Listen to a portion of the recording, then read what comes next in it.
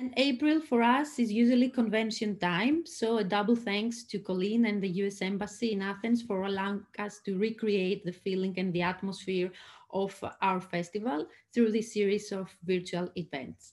And now I would like to ask Ms. Jennifer Suller, Cultural Attaché of the US Embassy in Athens, to address a brief welcome. Well, thank you, Lida. Kalispera. I'm really excited to be here today with all of you. Let me start by thanking the Athens Comics Library for their wonderful collaboration in organizing this presentation. Of course, I would also like to extend a heartfelt thank you to Colleen Doran for joining us and for sharing her insights with all of us today. This is a program that, as Letha said, we began planning a year ago, aiming to welcome Colleen to Athens and Thessaloniki for a real life visit. As we all know, the world had other plans for all of us, but we are very fortunate to be able to continue with this initiative by moving it into the virtual space today.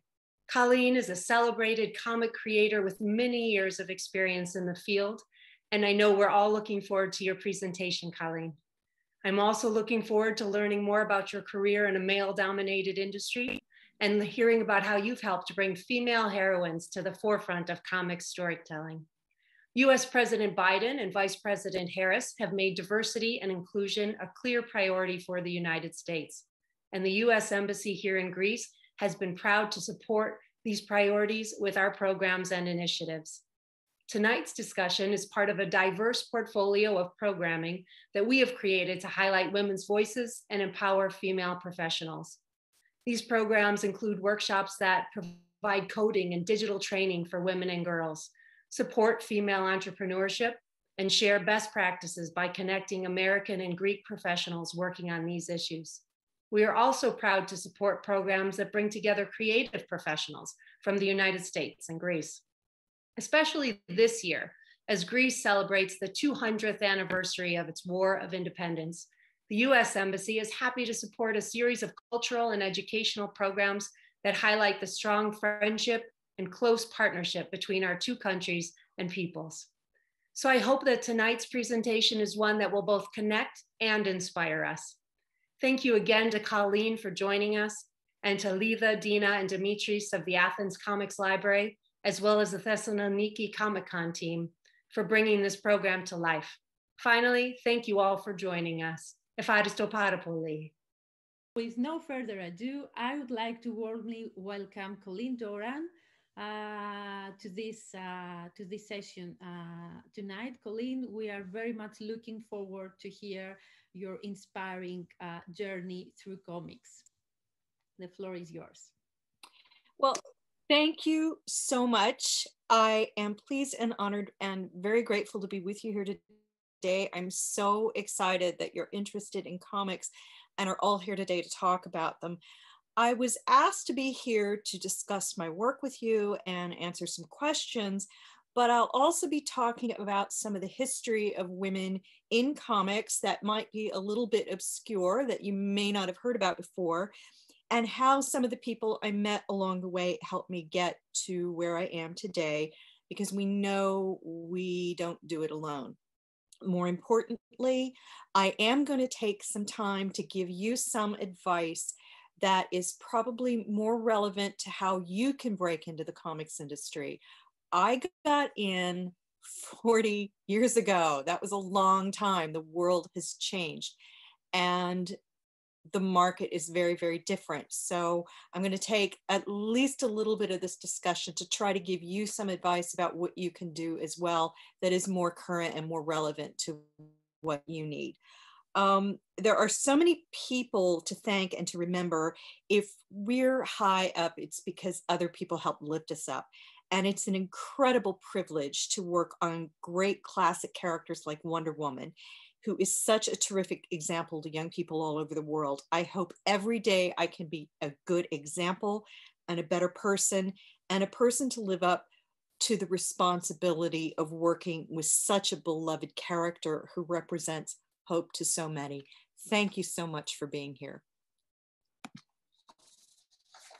I try to infuse my work with life and joy and character and to bring a unique perspective to my approach to comics especially with regard to my storytelling techniques, when I'm working on more personal projects. But one of the things I want people to know is that even though I eventually ended up working for some pretty cool clients on big name projects, such as the ones you see here, I didn't come by that via wealth and great privilege. My family was extremely poor. We went hungry, and I did not get to go to an art school for training in art. In fact, such training did not exist in universities when I started out. There's a Wikipedia entry about me that goes on about the schools I went to, but I didn't get to go to art school until I'd been a pro for over 20 years. And all I did was take a beginner digital art class online. The brief time I went to university, it was on scholarship. I majored in business and I left school when the scholarship money ran out the two art classes I did take were pretty much independent study, and I barely spoke to an art teacher. I've had no formal training in art and none in comics at all. Anyone who has is diligent and wants to take the time and sit down and practice and practice and practice has the chance to make it in comics. one big difference between the comic industry when I got started and the comic book industry world we are in today is comics is now seen as a really cool job that a lot of people want. But when I first got into comics some 40 years ago, and I've been a working pro since I was a teenager and I'm now in my mid 50s, back then comics were seen as a lowbrow, low class profession it was something you did because you couldn't get a good paying job in advertising. And even the great Stan Lee was sometimes embarrassed to admit to people that he wrote comic books. Here's art I drew from Stan Lee's autobiography, Amazing, Fantastic, Incredible Stan Lee, showing one of Stan's memories of this. Even though Stan's old enough to be my grandfather, when I was starting out and in fact, until about the last decade or so, working in comics was just not a cool job. If you were working in comics, it was because you could not get a real job, a real art job, or you were kind of a weirdo. It was extremely unusual for girls to want to work in this business, and none of the cool kids wanted anything to do with it. It was social poison to be seen as a geek or a nerd, and no, almost no one self identified as a geek. It seems like everyone wants to be called a geek these days, but back then, no one wanted to be seen as brainy or nerdy. The first conventions I went to were science fiction conventions, and they were really small. And there were times I'd be one of few girls at the entire show. And I didn't go to comic book conventions at all until after I became a pro artist. They were not popular, often just a couple hundred people meeting in a hotel. And there were times I was the only girl at the entire show. In some ways, that made it much easier to break in because there were fewer people trying to get in. Now, this was all before the days of the internet. And if you went to a convention to show your portfolio, you might be there with only 20 other artists. Now you go to a big show and there are 2,000 artists trying to get seen by an editor. So, in some ways, getting attention was much easier when I got started. Of course, without the internet, you had to mail in your art to potential clients or be at a show or go to the publisher's office. There was no Twitter, no deviant art portfolio where people could see your stuff. You had to show it to them in person. But flights used to be so cheap that I could get a $56 ticket, fly to New York City in the morning, deliver my assignments, meet my editor, and fly home in the evening by 7 p.m.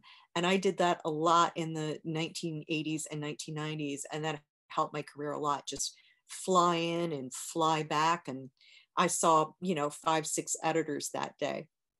Breaking into publishing, though, has never really been that hard. I know this sounds hard to believe, but just stick with me for a minute here.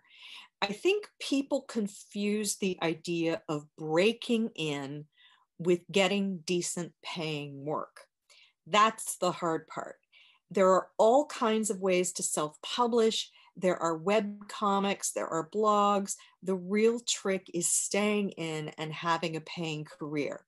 And I've been very lucky to be able to stick it out all this time and work on some exciting projects with wonderful people like Stan Lee and for companies like Marvel and DC and Disney and Lucasfilm.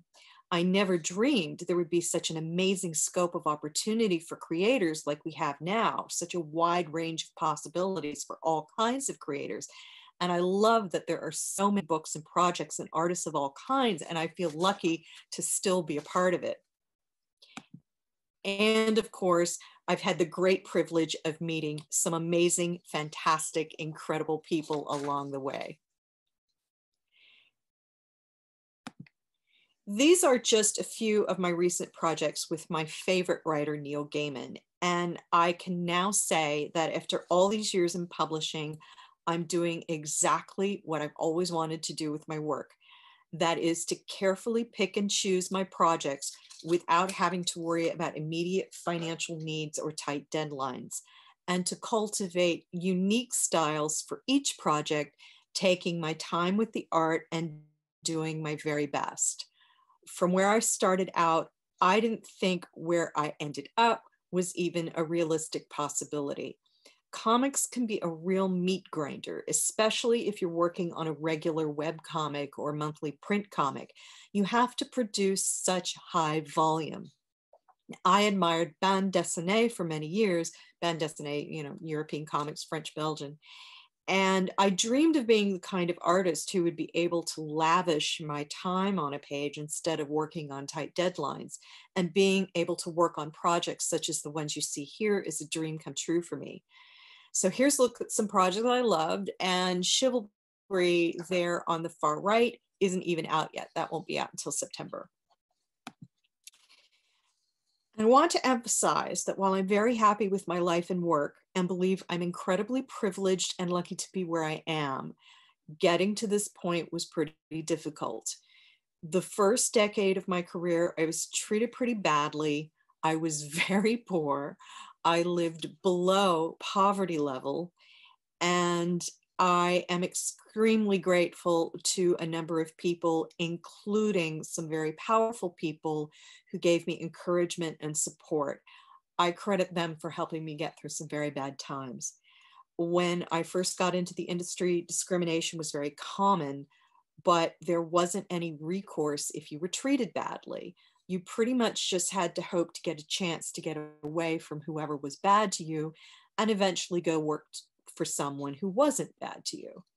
Today, have people have more options to get published and speak out, and there are still things, you know, happening that uh, that shouldn't be going on. But back then, there wasn't much you could do at all, and there were only a few publishers to choose from. I wanted more than anything to be a cartoonist, and I just wasn't going to let anything stop me but going through bad times would be an understatement, and I almost gave up more than once. Bizarrely, many men in the industry at the time didn't think women liked comics, read comics, or were good at making comics, especially superheroes, and any information to the contrary was simply ignored there were plenty of women in comics who believed the same thing. Uh, one well known woman blogger, when I kept insisting I really liked superheroes, told me that my opinion didn't count because women who liked superheroes were an anomaly and didn't represent real women. Now, it's best to ignore stuff like that and get on doing with what you really want to do. But it's discouraging to hear that when you hear it over and over year after year. It was very common and still is for people to think there were no women in comics in the past. And if there were, they only liked or did romance comics that there were only a few women creators, and many people mistakenly believe that women have only had a real voice in the sequential art medium during the last decade or so. It's just not true. Some of my greatest artistic influences were women who were making cartoons and comic books over a century ago. And I just want to give you some historical context here because, as I've said, women in comics didn't just appear over the last decade. This is the Bayeux Tapestry, a 230 foot long needlepoint cartoon strip depiction of the Battle of Hastings. Undoubtedly, the labor on this piece is by women, though there is some debate as to design the work, but it is one of many examples of sequential style art long before comic books came along. You will read many arguments which promote the idea that this culture or that culture invented comics or manga, but every major culture has some representation of early sequential art attempts going back thousands of years.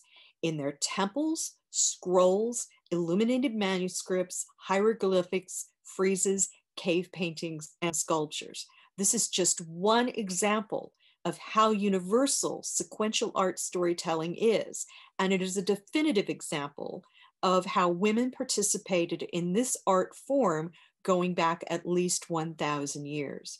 While none of these scrolls or friezes or manuscripts are true comic books, they show how human beings communicate via words and images in ways that attempt to show the passage of time and to manipulate an understanding of space and form in a sequence. This is the essence of comics, even though it is not yet a comic book comic books wouldn't truly be created until the invention of cheap pulp printing techniques for mass production centuries later. But the Bayeux Tapestry is a proto comic strip. And I want to talk for a minute about one of the earliest women comics I never hear get mentioned by anyone. This is Marie Duval. She was the co creator of Ally Sloper, which was written by her husband, Charles Henry Ross. Marie Duval is one of a number of her pseudonyms. She was, uh, she was actually an actress as well. And she was one of the first professional female cartoonists in all of Europe. She worked in the British penny papers and in comics from the 1860s to the 1880s. She created many inventive page layouts and storytelling techniques that would not be seen in comics again for decades, and her work was collected in book form, a comic book some 60 years before the publication of the first Superman story in Action Comics, often credited as the first modern comic book. I, I just never see her mentioned in articles about the development of cartoons or the development of the comic book form, even though she was quite popular.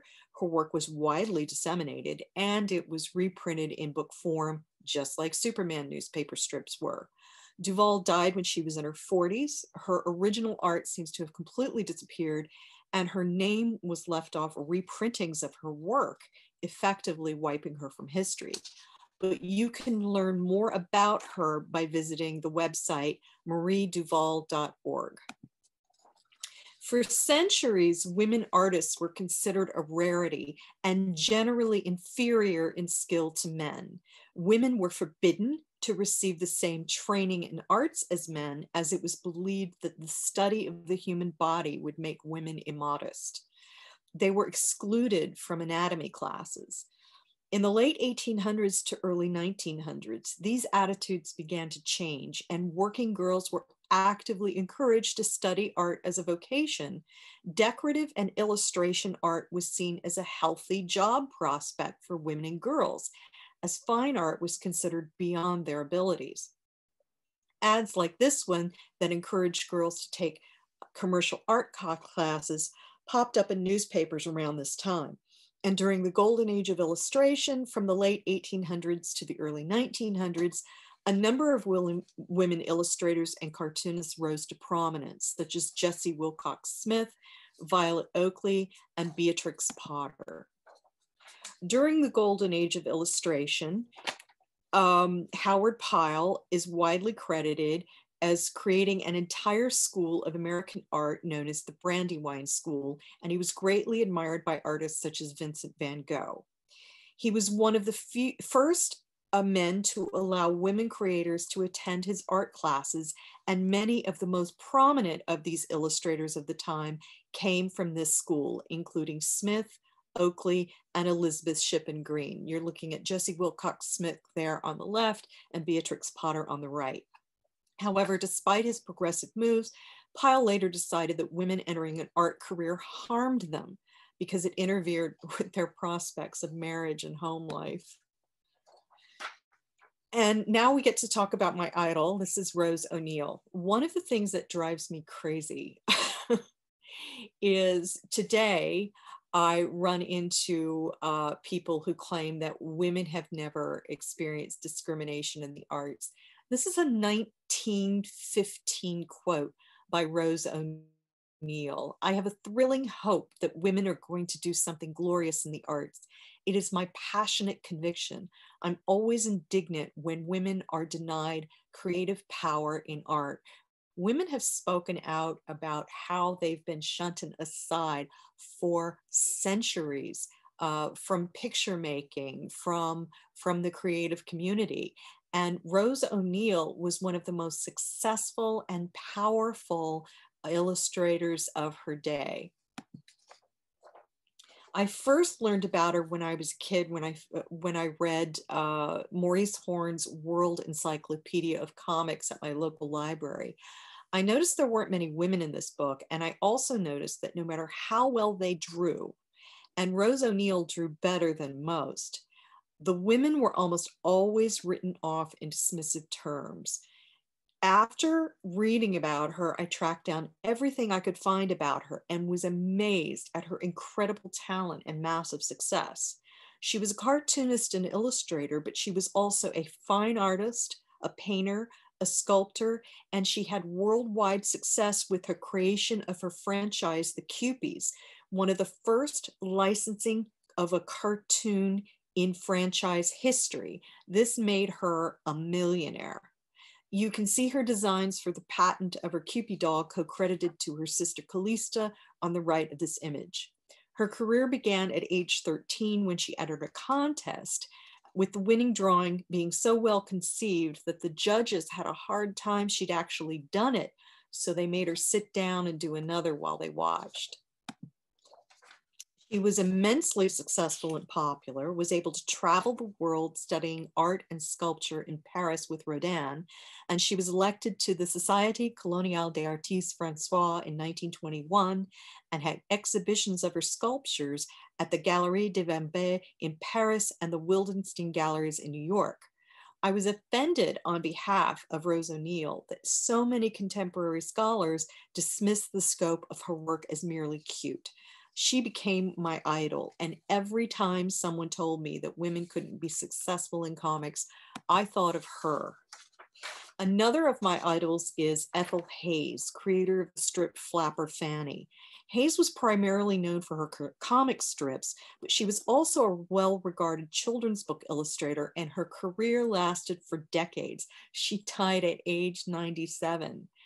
While neither Hays nor O'Neill worked in comic books, they both drew so beautifully and were so successful before modern comic books even existed that I wanted to bring something of the style and elegance of their era and their success with me into my comic book world. Their excellent examples of skill and career scope shaped my career choices. Like O'Neill, I started in commercial art when I was a teenager, landing my first job for an advertising agency when I was about 14 or 15. The lady who hired me, Linda Wesley, says I was 14, but I honestly don't know because I can't remember back that far. Regardless, I had no idea that there was a mindset among many that women could not and should not work in comics you can see that women did and always have done so. It wasn't until years later that I came to understand that in the mid 1950s, when superhero comics came to dominate the market, comic book publishers focused entirely on producing work of interest to young boys. Now, this didn't deter me in the least because I loved superheroes.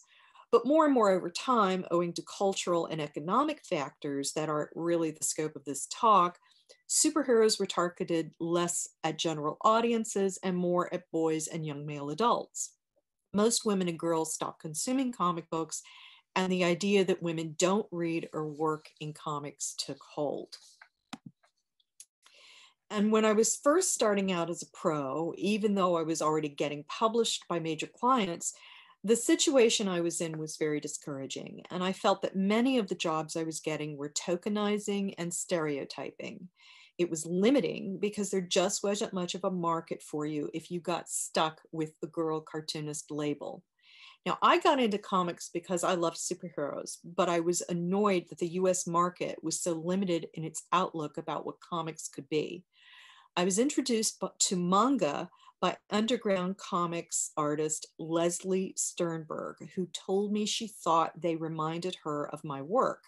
Now, most of the shoujo manga people feel must have influenced my art were not even published when I first developed my comic style. So any resemblance you may see there did not originally come from manga.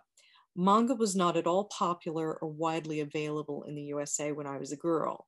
However, I learned from Fred Schodt's book, Manga Manga, The World of Japanese Comics, which I think I first saw sometime around 1985, that there was a robust market for comics created by women and girls in Japan, even though we were being told in the USA that such a thing could not exist.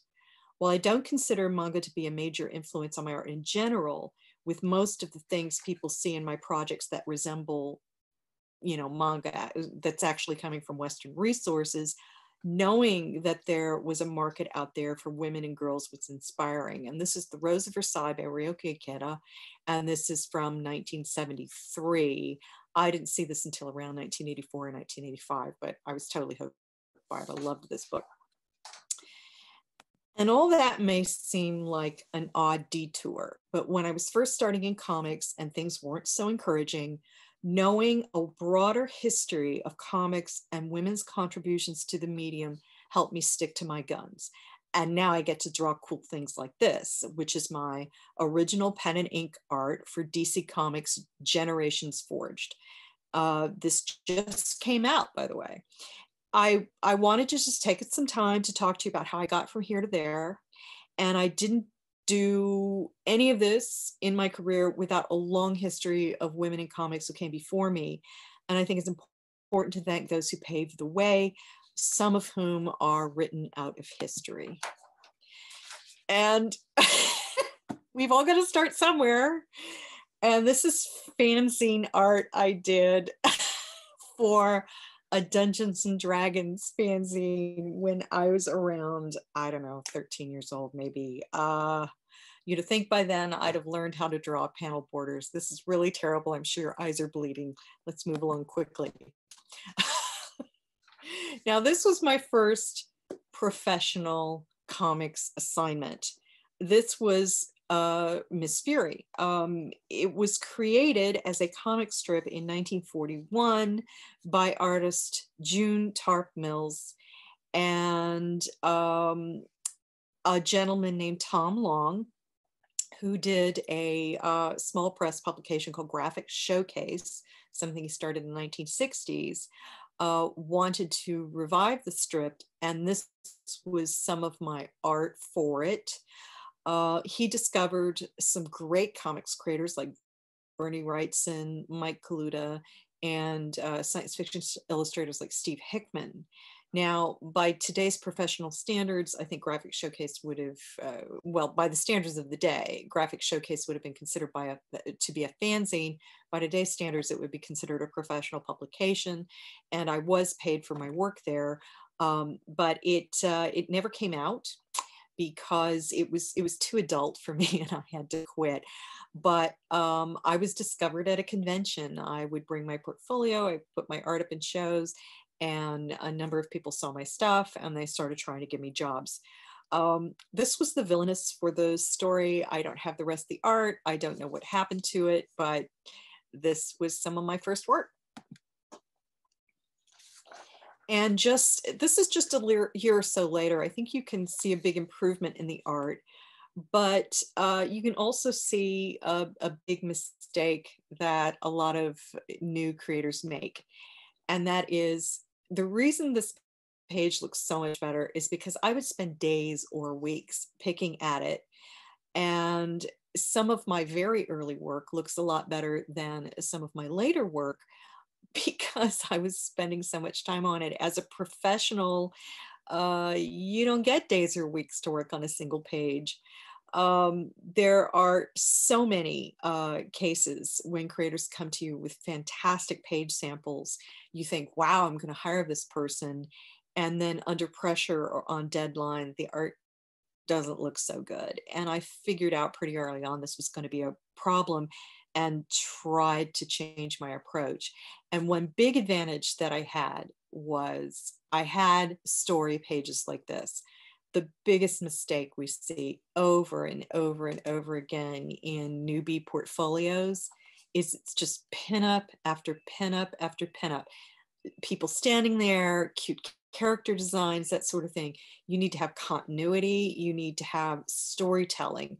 I would say nine out of 10 portfolios that we see do not have basic storytelling skills on display. Uh, if you don't have that, you're, you're not going to be able to get a job. And this is further, further illustration of how realist, unrealistic my early expectations are. Uh, this is some of my earliest professional comics work. It took me a week to do this page. um, not good. Uh, I was getting something like a dollar an hour. and the public is generally unwilling to wait for comic books that are only done at the rate of a page a week. Uh, it's very unrealistic expectation, and um, a lot of a lot of newbies don't understand this. But uh, the artwork looks nice. It's it's very pretty. It's highly rendered, but uh, you can't make a career out of this unless you're willing to find someone who's willing to pay you a lot of money so that you can spend an entire week working on a single page. Now, uh, there's only about one or two years between the last slide and this page. Uh, this, this is actually earlier than the last slide, but it was one of my first early attempts at superhero comic style inking and trying to learn to draw within realistic comic book deadlines one thing I did um, that you should all do, especially if you're starting out, is keep a time record of your productivity. Um, I would record the amount of time it took me to do a page in the corner of every page to see if I could make deadlines. Now, here I am trying to draw like John Byrne, and my lettering and everything is terrible. Um, this is another big mistake that newbies make. Do not letter your own stuff unless you're good at it. Uh, it really brings your art down, even if you draw well. Um, in fact, on a lot of my earlier pages, like the, well, which page was it? Let's see. This page before, when I realized my big mistake of lettering my own stuff, I went back and erased it. But of course, this is an ink and I couldn't do that. Um, most people aren't very good at digital lettering either. If it's not something you really need to have in your portfolio as samples, don't do it. There's a reason there are professional letterers. They make a huge difference. Uh, I think it was about 17, 18 maybe when I drew this. Um, I, I it's not too bad for a kid, but the lettering is terrible. I had no idea what it was doing. Leave the lettering off unless you're going to be a letterer. And here is my work over a decade later, getting to draw those characters in a professional publication for Marvel Comics. This was for Mutant X. As you can see, there's something of an improvement here. Uh, these are my uninked pencils. And um, some people get upset when I complain about this, but a big impediment to my early career was that I was working on tight deadlines most of the time, not getting to do my best stuff. And um, this is tight penciling, very clean, but there's what you draw and there's what makes it to publication. And one of the things that's going to hold you back is if you don't get a good inker. About 20 years ago, I stopped working with inkers entirely because usually only the A-list artists were getting the good inkers. And if you weren't A-list, God only knows what your work was going to look like when it made it to publication. Um, you're you're really not going to shine uh, in most of your early assignments because you get the fill-ins, you get the hard jobs. It's it's really very rare when I was starting out for for a newbie like me to get to get a, a plum treatment. You, you see publishers giving new creators star treatment right out the gate. That rarely happened when I was a kid. So, um, so yeah. Um, if you're not going to ink your own stuff, if you're not good at it and your pencils are solid, don't ink at all. But if you do ink your own stuff, keep copies of your pencil art as well as copies of your ink art in your portfolio. Show you can show publishers what you're capable of and what the before and after looked like. You never know you may end up uh, getting jobs as an inker even if you don't get jobs as a penciler and i want to take a minute to to talk about some of the people who were very influential and very helpful to me this is the cover of queen's album news of the world by artist and illustrator frank kelly freas he was my mentor when i was growing up and um, I certainly went through some experiences where people told me to just give it up and I was never going to be any good and whatever. But Frank Kelly Freas was the dean of science fiction artists. He won more Hugo Awards than any other artist at the time. I'm not sure what the situation is now, but Kelly was universally beloved and he was unwaveringly supportive of my work and my career early on. And uh, that made an enormous, enormous difference in um, my ability to stick it out. Um, when you have somebody you don't respect and who you don't think is a very good artist telling you you stink and you should go get a day job, and you have somebody like Frank Kelly Freas telling you you've you've got the chops and stick with it, uh, that's that's big. So Frank Kelly Freas. Go look him up. He's just a wonderful, wonderful man. You might recognize his work from Mad Magazine. He did uh, did a lot of pictures of the character Alfred E. Neuman, the guy with the big ears on the cover of Mad. Um, he was such a big supporter of my work, and this is some of my earliest work. Uh, series I created, uh, wrote, and drew. even do do everything on this thing, including the lettering by hand. I, I just had some epic, awful experiences starting out, and he would have me come over to his house and we just talk for hours. Uh, my early experiences on this were so bad that I took all of the original art from a previous edition of it that I could find and I burned it. Uh, I think I just read Ayn Rand's The Fountainhead, but it felt great to rise from the ashes. And I'm still working on this project to this day. I first created the characters and concepts when I was about 12 years old and it's in multiple printings and editions now and it's published by shadowline comics an imprint of image comics. And one of the first people to see art for this was frank kelly freas so thank you kelly. And this is another one of my uh, great um, uh, inspirations and uh, early supporters. This is Keith Giffen um, when I was about 17 years old, I was working on a fanzine uh, called Interlac. It was actually called an apazine, but nobody knows what they are anymore. And I can be here all day explaining it. Uh, we'll just call it a fanzine. And they have really low circulation, maybe about 100 copies. But of those 100 copies, uh, maybe a dozen or so would go to professionals at the comic book companies. And Keith Giffen was one of the people who got the zine. And he saw my work in it. And this elements uh, piece over there is some of my work from that zine. And he called me up on the phone because back then we were, you know, we were just, it was a very different world. You put your phone and your your address in these zines and hope that people would contact you and you like would never do that now but uh, he called me up on the phone and got my mom and keith's like oh, can i speak to colleen doran? And mom is like oh well she's at school. Keith is like what? She's a kid? But he called me up and asked me if i'd like to audition to draw the legion of superheroes and uh, because I'm an idiot, I actually turned down that opportunity because I was I was actually afraid of of it, and I had already agreed to do a job for a small press. Boy, was that a big mistake! But um, um, this is another example of an established pro going out of his way to help a kid. We are still friends decades later and we still work together. I consider him one of the best friends I've ever had. And all because one day he saw a kid's work and said, I want to hire that kid and picked up the phone. So, pretty cool. Um, eh, this is some of the work I do on A Distant Soil. This is fairly recent work. Um, most of my work on it is by hand. This cover over here on the right is some of my earliest digital work, and it's the first A Distant Soil cover I did by hand.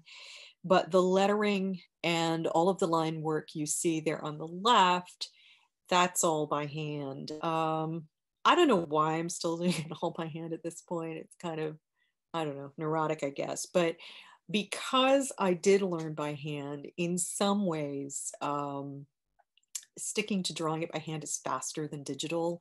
You you just get so used to being being able to do these things, and you've you've either got the hand-eye coordination or you don't. You don't need the computer to clean up your line or whatever.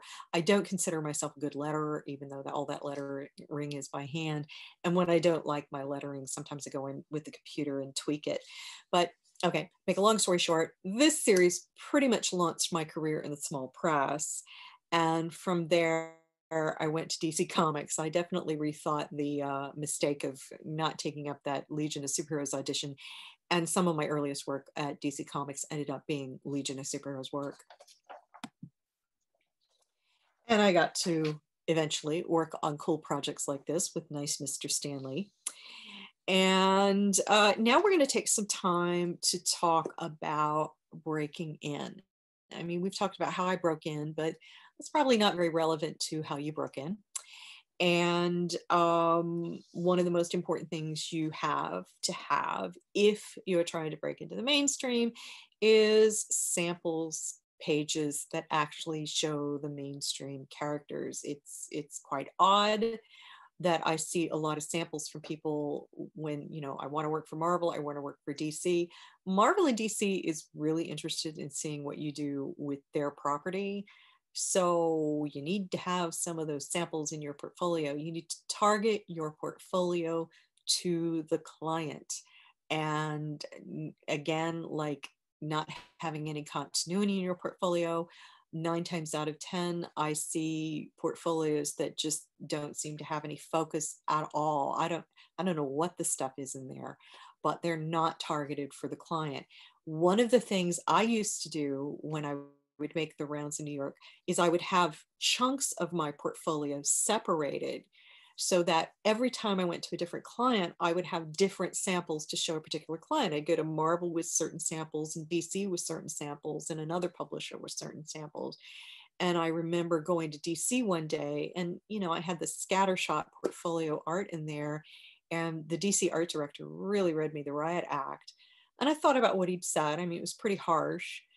And I was like, okay. So I rearranged the stuff in my portfolio. I went right to Marvel and I got a job at Marvel that day because the DC editor gave me a lousy art review. And I said, you know what? He's probably right. This, this, this, I don't need to be showing an editor this stuff. I need to be more careful what I show. Went over to Marvel, got a job that day. So think about what you're showing and to whom you're showing it. And this is a small portion of my uh, lecture about how to break in comics. Um, there, there are two things you need to ask yourself. Do you really want to be a professional? I mean, is this what you want to do for a living? Um, and do you really have anything to say to the public, or do you just like to write and draw? Fact of the matter is if all you want to do is just write and draw and you just want to enjoy it and you just want to create that's fine you go do that. There are plenty of venues for you to do that. You do not need to make money at art to be an artist. You just need to make art. But to be a professional artist you do have to think about uh, whether or not you're going to be able to make a living at it. Um, and you need to ask yourself these questions What do I have to say? Is this a hobby or a profession? Do I need to make a profit or just get my investment returned? Should I just post it on a blog or, you know, make a web comic and let people see it and I don't have to worry about making any money? And do you actually need to be in print? Do you actually need to have a book in your hand? Ask yourself those questions when you're sitting down deciding what you want your path to be. Now, I spent many years in self publishing, and self publishing is a great way to get your, your foot in the door. Um, putting your stuff on a blog is self publishing, putting your stuff on a web comic is self publishing. These are all legit venues for publishing. Anybody that says you haven't been published, if you put your stuff on a website or a blog, that's not true. You have been published. But self publishing really isn't that easy. Um, you do get to, to keep all of the money that comes in, but you also have to pay all of the expenses. And there are more expenses than you might think. You have to provide your own financial, legal, production, and promotion support or pay someone else to do so. This can end up being almost as expensive as getting a publisher, except you had to do all of the labor as well. And you may not have the expertise to do that labor well. Now, there's always print on demand. You want to see your work in print. Print on demand is great. You just print one book at a time. You don't have to carry an inventory. You can just, you know, maybe print a dozen to test your market this really reduces your risk. This is a great way to get your book into print and get it into the hands of uh, fans at a show. So you've got a table at a convention, or maybe you want to um, uh, show some samples uh, when you go to a show. It's you know do that. Um, this may, however, turn off traditional publishers. If you decide to show them your sample in print, they'll go, well, this has already been published. We don't want to do it. Mm. So you might want to uh, consider whether showing that as uh, a published work to a potential client, you, you might want to think twice about that. But uh, whatever, just if if you're worried about that as a as a uh, impediment, just say these are one of a dozen copies I printed as a sample. Now, a publishing deal can be a real nightmare, and I've had a few, but if it goes well, honestly, if my publishing deals continue to go as well as some of my publishing deals have lately, I'll never self publish again. Upfront financial support I don't have to come up with all that money. Yay. Invaluable editorial assistant. Um, no one has complained about editors more than I have over the years, but a good editor is priceless. Uh, a marketing team, a promotioning team, legal support, somebody else handling your copyright and trademark issues, yay.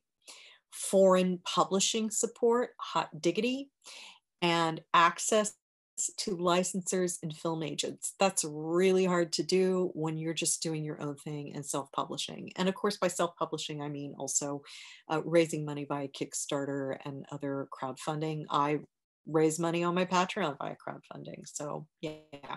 But um, uh, these are all great things that go along with getting a publisher. And if you can bring in the money, you can get a good deal but most books don't bring in the money. 93% of books sell less than 1,000 copies. Most small press or self published books never move more than a few hundred copies. 9% of book orders account for 80% of all book sales. The entire publishing market is supported by less than about 5% of the authors. And virtually everything not produced by this small elite loses money. It's your job to prove to the client that you have a book that will sell. And almost all publishing money is in the backlist. When I say backlist, I mean a book that's been in print for a long time. Watchmen was printed in the 1980s. It's still in print and making money now. Sandman was printed in the 1990s. It's still in print and making money now. Evergreens or perennials, as those books are known, bring in new money year after year with little subsequent investment. And these books support the prime authors, but they also subsidize the search for new authors. So sometimes we get resentful seeing somebody like Stephen King or um, Neil Gaiman or you know one of these huge authors getting all the attention. Well, that money is partly invested in new authors. Now, after going over all the benefits of having a publisher, do you actually need one? And that to publish that depends entirely on what you want. A publisher can help establish your brand. If you get a series at Marvel or DC, for example, you are automatically getting seen by many, many people. However, many a mainstream creator has decided to self publish and then failed miserably. Just because people are willing to buy your mainstream book and say 40,000 people buy your mainstream comic, that doesn't mean 40,000 people are going to buy the thing that you self publish later. The self publishing comics movement created a handful of successes, but left countless cartoonists in debt now, crowdfunding helps out a lot with that these days. You know, if you don't reach your target, you don't necessarily produce your book. And publishing on the web is not entirely free. There are expenses to consider. And being popular on the web doesn't always translate to money. Sometimes it does. You can see people who've really not done very many books and have certainly never done very many books, but they've got a great big following on Instagram and boom, they raise a lot of money on Kickstarter. You never know. But other people, you just don't know. But these are these are not rules. These are just things to consider when you're thinking about how you want to take your career and how you want to break in.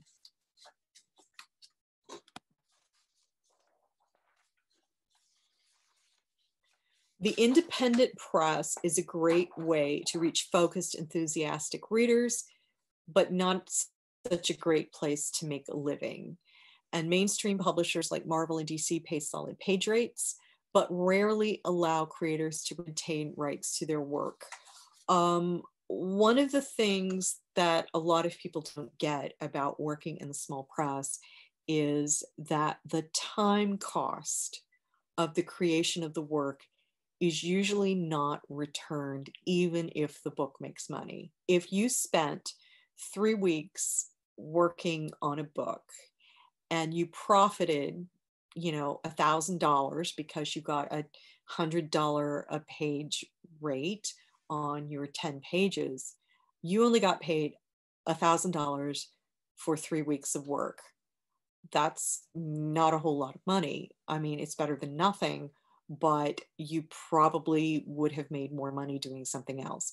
That is one of the hard things to face about being independent and working in the small press and hoping that eventually you will be able to break through and reach a wider audience, which, by the way, did happen to me. But a lot of people can't stick it out for the long haul. And to be perfectly honest, my you know as i mentioned before my first 10 years of working as a published creator working on some very popular books including my my small press book a distant soil. It sold as many as 40,000 copies but i was generally making uh, just a few thousand dollars a year. Uh, you need to understand that no matter where you're going to work, whether you're working for yourself or you're working for other people. Self publishing does not mean that you are isolated from the rules and responsibilities of being a business person. You work with lots of people, you work with vendors, advertisers, licensors, etc. And this applies to all creative people, no matter what you are a key person business. This is the riskiest kind of business because everything depends on one person you, your ability to function. Um, if anything happens to your ability to keep producing, uh, the gravy train is off. If you don't have a backlist, and this is super important, the backlist will cover those times when you, the key person business, is not able to be productive.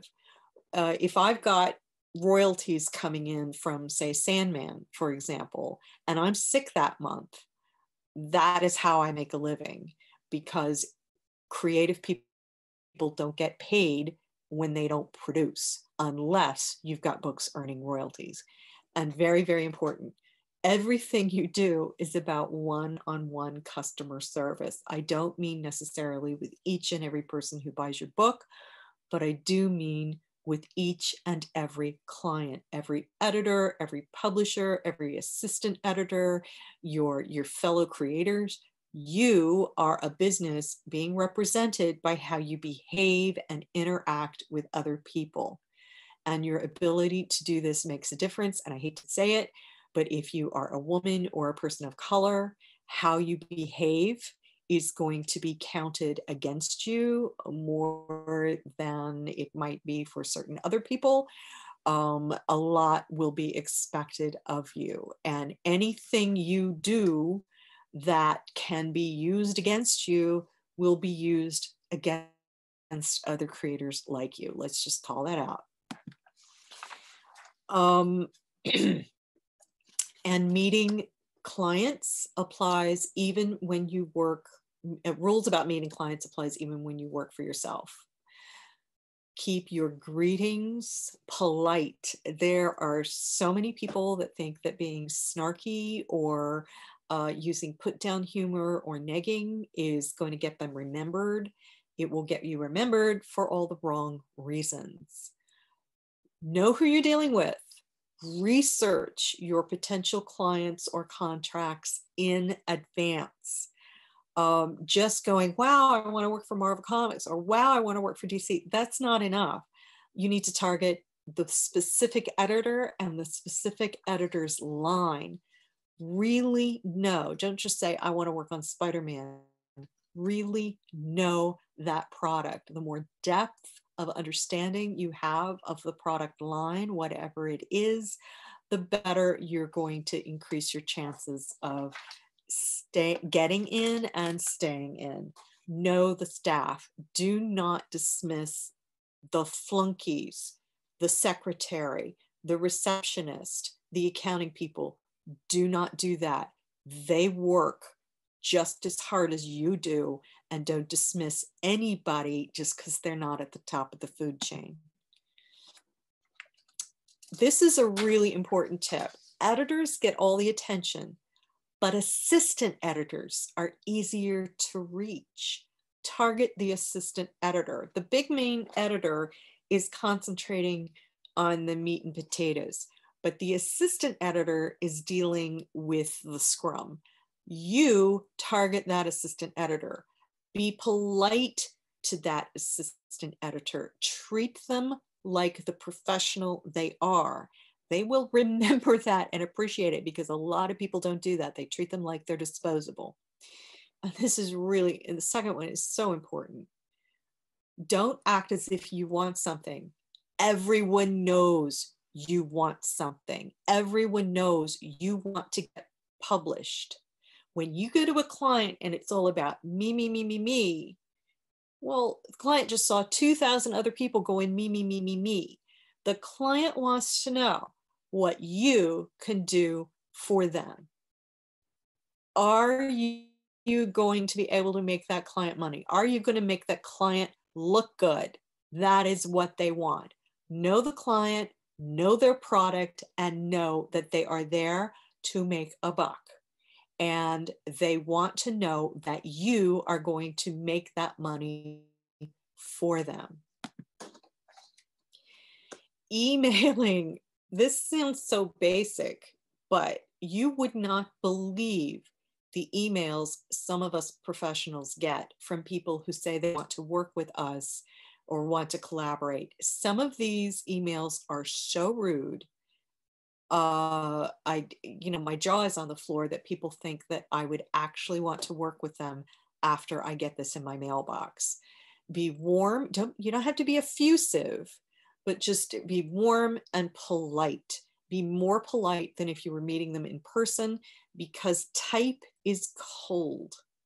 Warm up your query. Do not do this on social media. Please don't do this on social media. Many uh, people will block you if you try to solicit uh, work to them on social media. They will just flat out block you. Don't deluge artists and writers and editors, for example, with requests for attention or aid. You may not get blocked, but you will probably get muted. And to be perfectly frank, a lot of us have assistants who are going through our social media to weed stuff out for us so that we don't see it there. That's the truth. Do not ever post unsolicited work on a professional social media wall. It doesn't that doesn't mean fan art. It's like, "Oh, I really loved your, you know, Wonder Woman. Here's my Wonder Woman." You know, yay, that's great. But if you're coming to me with a script or a story, we can't read it. Creators can't read that stuff. That's what editors are for. We are often warned by our lawyers not to read unsolicited work. I only read stuff if, I have a strong level of trust with someone. I won't read anything by a new creator, period. I'm not going to do it. Um, if you want to get published, you're probably not going to get published through another creator anyway. That is what editors are for. Go to an editor. If a professional's page is private, look, there's a typo. I need an editor already. If a professional's page is private, do not request to join and don't become belligerent if refused. This is social poison within the professional community you will be blocked. Do participate in online discussions. This helps us to get an idea of your character and attitude. I've befriended people I've met online, been friends with them for many years now, and I've hired people I've met online. But I got a chance to see how they behave, and I got a chance to see their work in their space, and I approached them. Don't spend too much time on message boards and other high drama social media. It used to be standard advice to spend a lot of time on message boards and stuff, but more and more pros are looking at that with a wary eye. Um, eh, social media can get you in a lot of trouble. The wrong, the wrong thing said, um, you know, the wrong thing liked, blah blah blah. Boy, it's a minefield out there. Eh, be wary of your behavior. And I don't mean you need to not be yourself, but maybe it's a good idea not to perform for an audience and then regret it later. Let's just put it that way. Uh, the internet is great and can bring lots of eyes to you, but the internet is also bad and can be bringing lots of eyes to you. And that kind of pressure can cripple people. I've seen young artists give up because they got reamed out on Tumblr. Um, it's it's really rough out there. So um, I I cannot tell you uh, exactly what to say. I'm not going to tell you what to draw. I'm just giving you the warning that um, for many years, the comics industry was mostly about nerds um, with their little clubs and hanging out together. And it was you and 24 people. And now it's you and 240,000 people. And that can get really, really ugly. Um, it's celebrity culture now. And there are times I don't like it anymore. So be aware that other people's behavior toward you and your art can lift you up and it can tear you down just as quickly. And you need to have a very strong center. You need to know what you want and you need to create strong boundaries. Know that what you do online is your professional space and the sort of thing you want to be known for. How, how do you want to be known for? Think about what you said and what you did and how you behaved. Think about it in 20 years. Mm. Um, just think. Okay. Online portfolios, uh, like at Twitter, the Visible Women hashtag, etc. These are great places to be seen. I've sent many clients uh, looking for artists to these resources. Several people that I've sent that way have gotten jobs. These are really great ways to get jobs. Please do take advantage of them. But again, with the sweet comes the sour, be prepared. Uh, work for hire. A lot of people ask me about work for hire. Uh, work for hire is generally what you sign when you go to work for uh, Marvel or DC uh, you don't get any rights to your stuff. Let's just call it out. You don't get any rights to your stuff. If I work on Wonder Woman, Wonder Woman is owned by DC Comics. I mean, I shouldn't own Wonder Woman. Wonder Woman doesn't belong to me.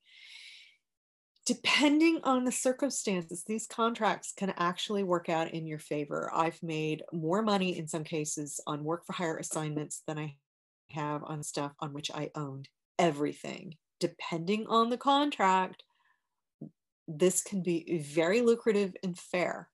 And I know some creators who had the great fortune to have created something back in the 1980s when the contracts were even better than they are now. And that material ended up making into a movie, and they ended up getting nice, fat, six figure checks. So you never know. Um, but work for hire um, work for hire is something that I tolerate because I also have plenty of stuff I own. If if it was just work for hire for me, I probably wouldn't enjoy it very much. Have a little of both, just my advice. Um, and this is part of why work for hire is not so great.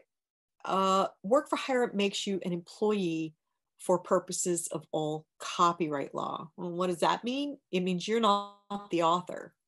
Technically, you didn't do it, the company did. Uh, they can do anything with your art that they like. Okay, fair enough.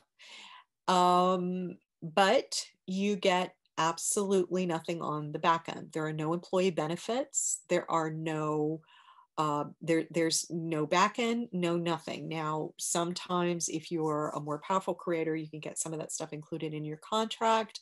But in general, that's all you get and uh, i you know in europe things are different. You you tend to have uh, national health care out there. Here in the united states we don't have it.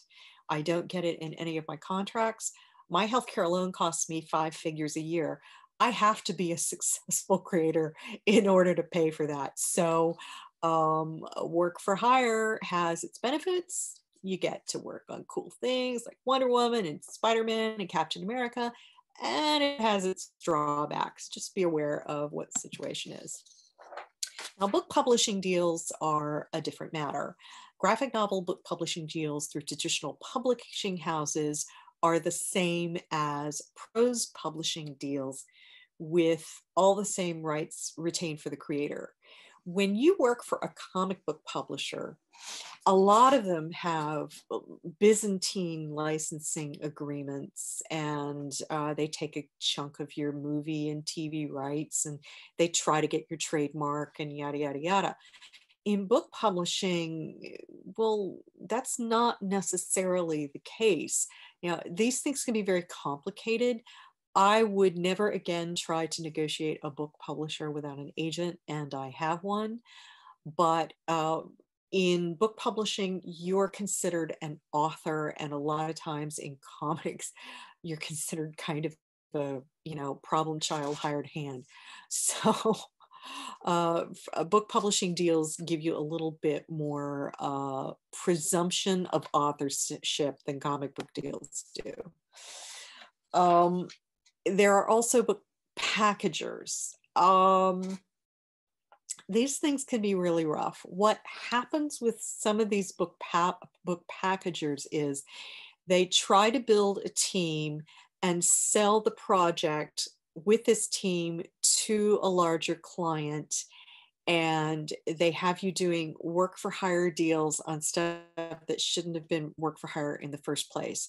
So uh, basically, you've got this packager that acts like a mainstream comics publisher, but they take your graphic novel package to uh, a mainstream book publisher, a prose book publisher, and treat you like a work for hire deal when you should have been getting a standard book publishing deal.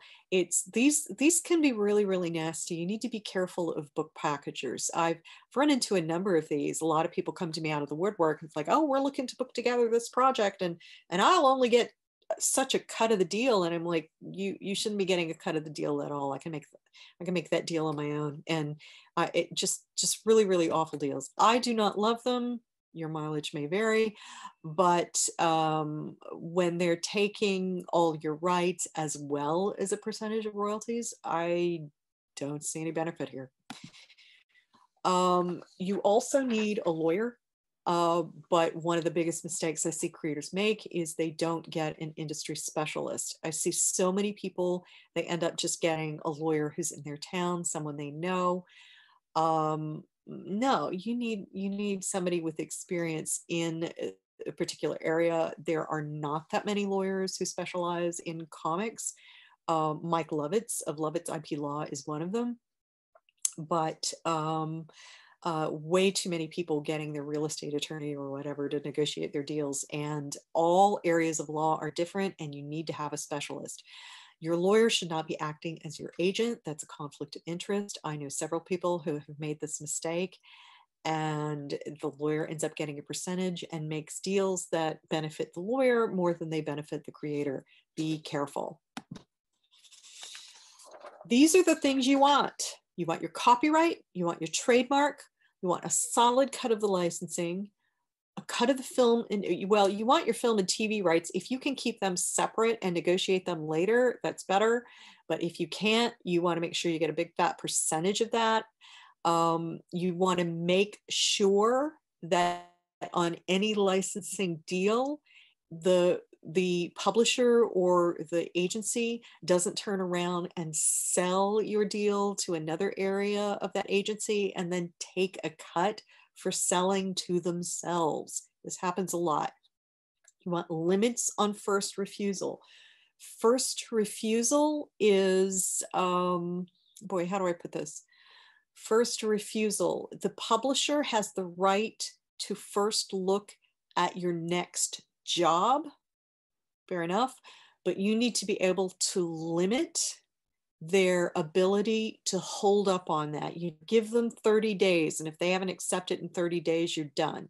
You also need very clear terms on termination. I've gotten into some public uh, some trouble in the past with publishers where the terms of termination were clear to everybody but the publisher. They broke the contract and they didn't want to let me out of the deal. You need to be very, very clear on that transparent accounting practices. You need to be able to audit the books, no cross collateralization, royalties against one book counted against royalties against another. If one book is losing money and the other book is making money, you want to make sure they don't combine the accounting so that you're able to make money even if this book lost money. Clear marketing and promotion terms. There's absolutely no reason to go with a publisher if they're just going to let your book sit there on a shelf and they're not going to promote it and market it you need to you need to try to get some of that down on paper. You need enough money enough of an advance or a page rate to do the job in the first place. So many of these publishers give you so little out the gate that you are just starving while you're working on the book. This is a disaster. Actually made a bad deal. I don't know, it was about six or seven years ago. Well, maybe it was longer than that. And I was like, I had to go back in and renegotiate because it was like there just isn't enough money to do this job. A decent royalty cut rate that's that's going to vary. Um, Uh, things have changed a lot in publishing over the last few years. I don't think uh, deals are as good as they used to be, but this is a big one. Limits on cuts on royalties for discounted books. If the publisher is going to be selling your book wholesale and letting it fly out the door, uh, you need to be able to put a cap on that and you also, let me see if it's on my next one, it's not here. Uh, you also need to make sure that they offer the, those same deals to you. If they're going to be selling your book at 80% off to a wholesaler, well, why don't they let you buy your book 80% off so that you can have those copies to take to a show with you and make some money? I have made six figures buying some of my own inventory from my publisher and and reselling it at personal appearances. So you want to do that. That's a that's a good one. That's a tip I got from Harlan Ellison, by the way. Never forget it. Um, comic book publishing deals are complex, but book publishing deals these days are oh my gosh, you really really need an agent for this. Um, you need to be looking online for a list of agents if you can find one and there aren't that many with experience in comics as well, then huzzah. But uh, I've been in this job for 40 years and I run into stuff I can't understand, especially foreign licensing deals. You need somebody to help you out. I, I know they take a cut, but believe me, you you will be treated a lot worse if you don't have somebody looking out for you. The trademark can be even more important than your copyright. The trademark is the logo, the title of your book, the design of your characters, the names of your characters. A lot of publishers will try to tell you that uh, you don't need that, and they're lying. Um, if someone is going to try to get you to give up your trademark, they need to pay you, and they need to pay you well for it be very, very careful dealing with anyone who tries to tell you to give up your trademark on anything you created yourself.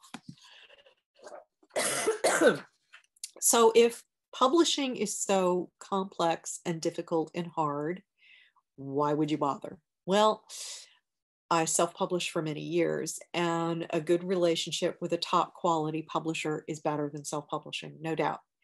Um, the reason why all of these people in the food chain get a cut is because they worked for it and they earned it. And it would be churlish to say that I get everything myself because I do everything and I'm the fountainhead. Well, fact of the matter is, I'm not very good at marketing or distribution or getting my books into stores or what. Other people are good at that. They deserve to get paid for it. Almost every single top writer continues to work with a publisher, even though they could make more money self publishing. The mess and stress that goes along with self publishing, uh, in my experience, can outweigh the advantage, uh, uh, outweigh the disadvantages of working for a major publisher. I do a little bit of both. This keeps me happy. So you may want to consider that. Um, a bad publisher is the absolute worst experience ever. Uh, they they will strangle your creations in the crib, but a good publisher is like seeing your kid grow up, get a scholarship to Harvard, and then get a seven figure job. Um, so I don't know how long this lasts. I'm not even looking at the clock. I uh, we've still got time here. I'm going to show you some of my art and stuff. With any luck, after all that, after all that advice, I hope it was helpful. I hope you go off into the sunset with many happy creative years behind you. And if we've got a little bit more time,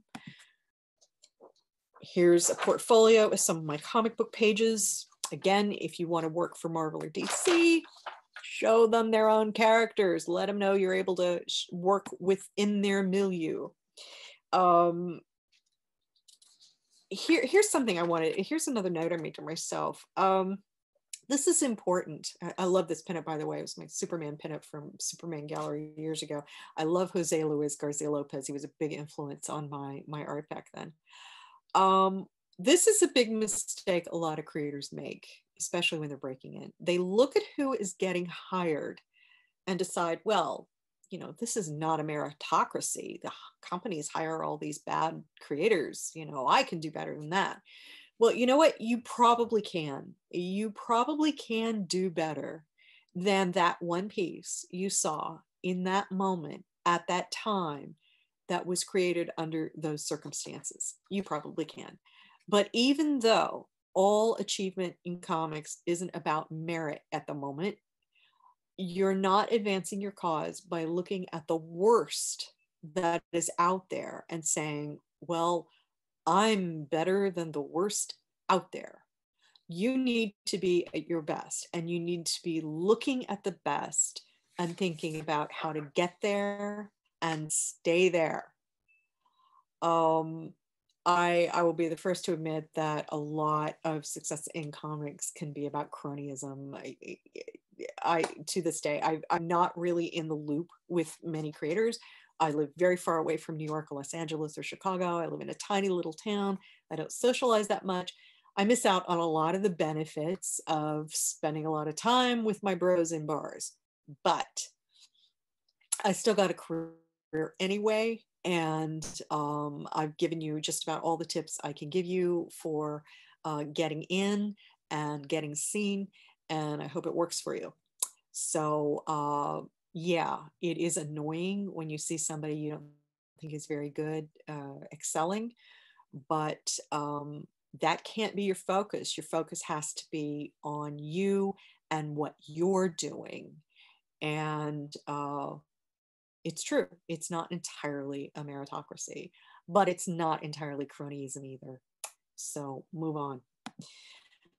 Um, this industry is something of a meat grinder. As I said, you don't always have the time or circumstances to do your very best. One of the hardest things to do is to create on demand.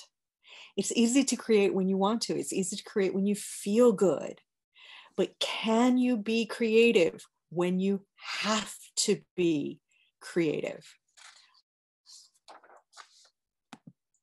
Creating under pressure is what will determine whether or not you're able to make it as a pro. This is a very high pressure job. You will not only experience pressure from clients, you will experience it from the fan community. That for me lately has been even more difficult than editorial rejection. I remember when it was announced that I was going to be working on the Vampire Diaries a lot of fans came forward and went, Who is she? She's probably never seen the Vampire Diaries. She's just some corporate comics person. And, and they were really putting me down. I was like, What are they talking about? I love the Vampire Diaries. I'm thrilled to get to work on this. Um, fandoms can be very gatekeepery, just as gatekeepery is the professional community. You need to be prepared. Now, afterward, our Vampire Diaries comic came out. People loved it. The fans were great. I was so grateful. It was super. But it can be really demoralizing before your work comes out. People dislike it even more than they dislike it after it comes out. It's very weird how that happens. And your ability to produce in in this drama is is gonna separate the women from the kiddies. You you need to put on your big girl pants.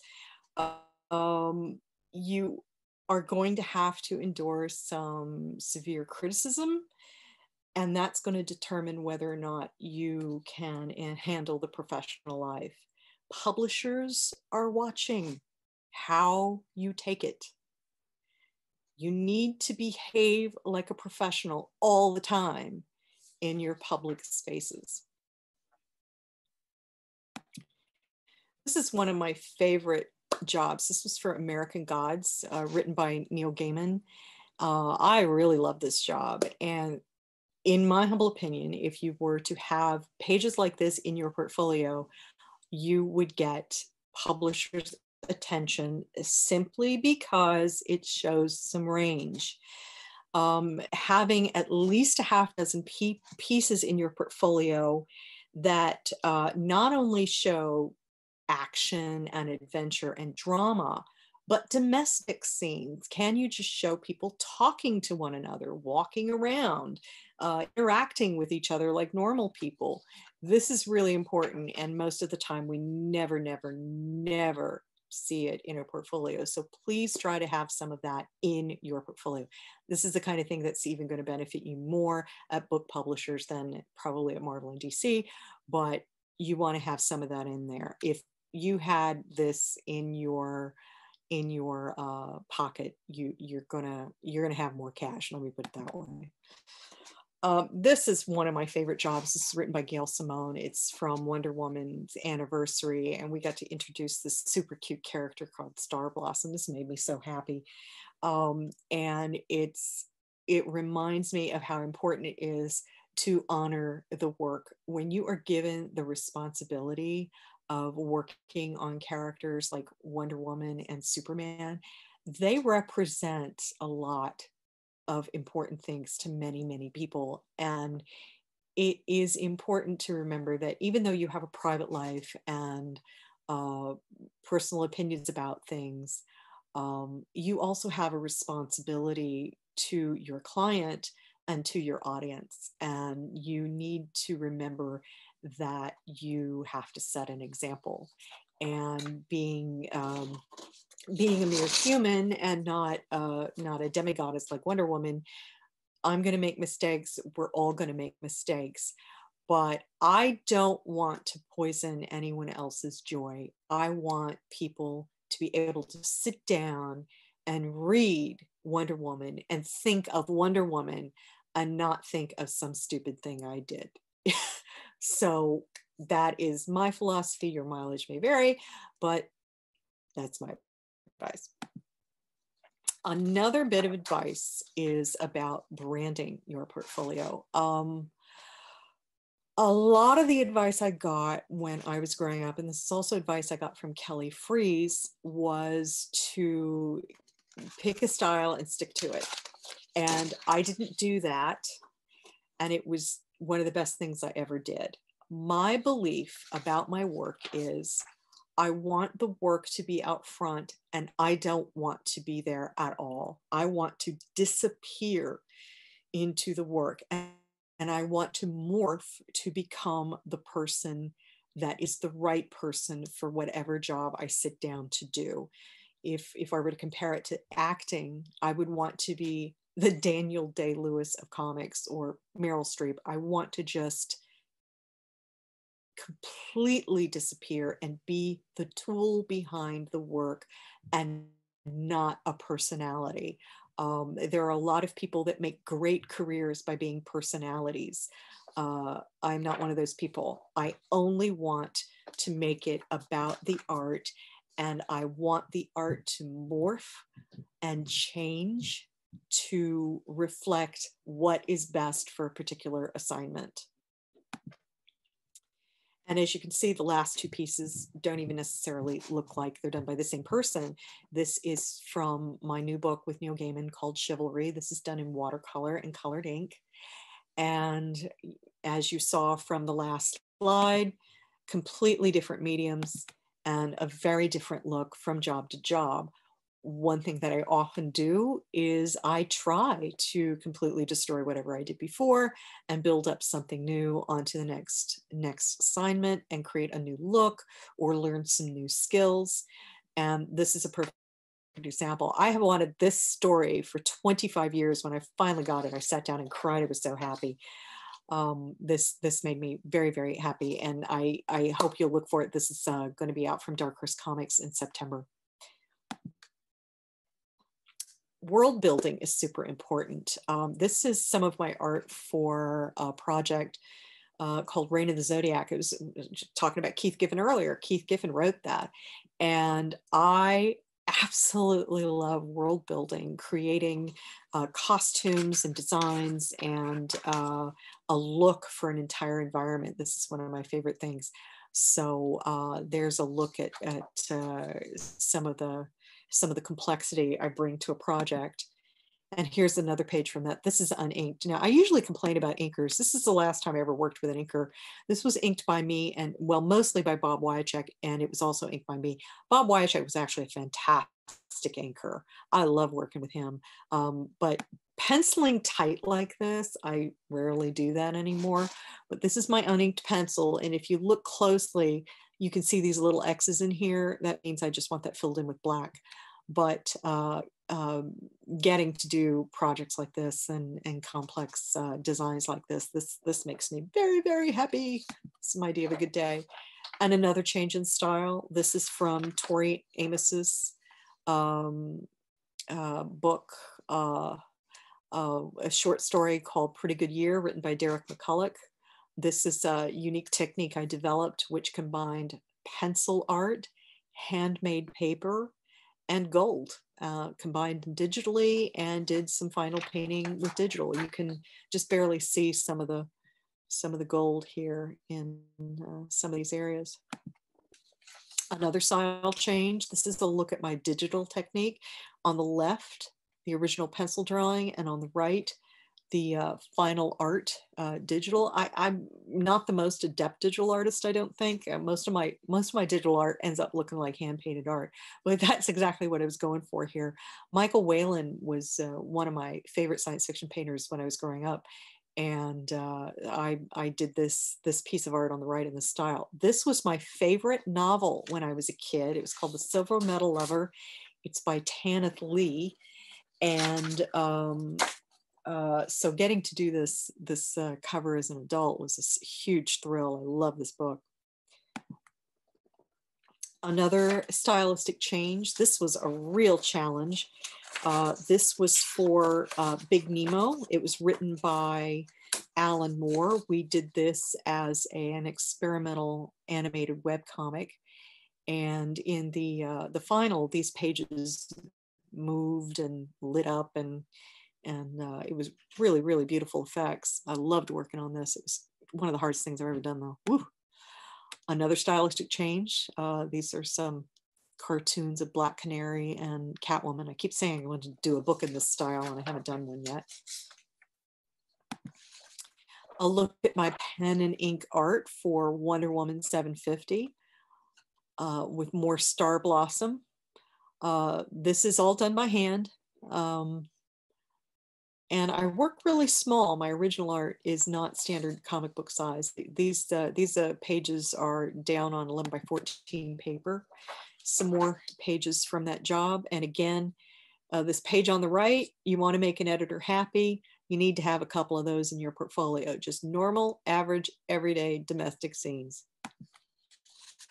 This is one of my favorite jobs of all time. This is from Snow Glass Apples by Neil Gaiman. I did the adaptation and art for this and uh, the digital color as well as the original hand-drawn pen and ink work. Uh, I worked in a, uh, a well, I, I think it's innovative. Uh, storytelling technique where I minimalized uh, panel borders and used scenery and uh, other elements to divide the panels instead of borders because most of the story takes place in a character's head. Uh, I wanted to show it flowing and morphing as if they were thoughts instead of in panel borders as discrete units of time. You can see a little bit more of that here. I was quite happy with how this turned out and a little bit more of that here. Uh, my inspiration for most of the art on this job was an Irish artist named Harry Clarke. He was well known in the Irish arts and crafts movement. And I actually went to Ireland to photograph some of his originals. And then I sampled some of the color in these areas here and various spaces in the book so that the colors would match some of his illustration and stained glass work. I just put this in there because it makes me happy and it's fun. That's Harley Quinn. I get that for DC Women of Action. That was super fun. I love Harley. Uh, a look at uh, some of my technique. These are my thumbnails on the left and the finished art on the right. This is from Gone to Amerikay, a book about Irish immigration. This was again a real technical challenge, not just from a draftsmanship standpoint, but from a research standpoint. I had to research three time periods in history and get everything right. I don't think we got a single thing incorrect, but boy, was it tough. But you can see how closely my uh, final art resembles the little layout over here. And another look at Gone to Amerikay These are my pencils for a double page spread sequence showing three time periods on the shores of New York City, uh, 1860, 1960, and 2012. And the final pen and ink work. One of the things I noticed about this, Derek just pointed this out the writer the other day, the writer Derek McCulloch, we strangely picked three time periods in which the two towers aren't anywhere in any of the images. Feels was kind of empty. These are my original pencils from Disney's Beauty and the Beast. I uh, was surprised to find these in a file somewhere, but uh, another stylistic change, being able to to nail these different looks for the client's needs is a real real really important. Um, some artists draw really well and some artists are stylists but the better you draw the more technical skills you have the better your chances of of longevity. Let me put it that way. And another page from Reign of the Zodiac with some of my designs. I think here you can really see um, my influence from George Perez, one of my all-time favorite artists and one of my all-time favorite people an absolute darling of a man. He has been so kind and good to me. Real advantage having somebody him like him on your side. Um, and he was one of the first creators I know who really, really pushed for women creators early on. Um, I, I've never forgotten his kindness and support. I love George and some of my character designs. Uh, these are again from of the Zodiac. These these have never been seen, by the way, so uh, I'm kind of glad to get a chance to show you this. I hope I've been uh, helpful here. I hope I've uh, been inspirational. This piece, by the way, was done for uh, uh, the TV show Devs. You see a little couple little clues down here in the art, but this is the end of my presentation.